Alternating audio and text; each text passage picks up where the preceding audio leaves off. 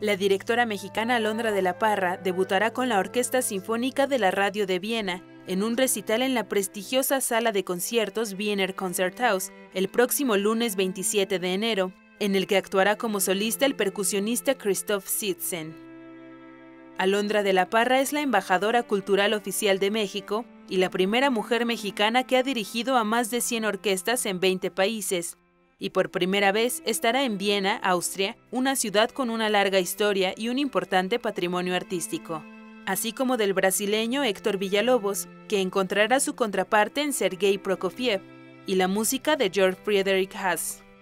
El enfoque sustancial del concierto será la música clásica contemporánea, y la directora de La Parra se compromete a transmitir alegría en la música y despertar interés, así como inspirar a niños, adolescentes y adultos jóvenes a tocar música de manera activa.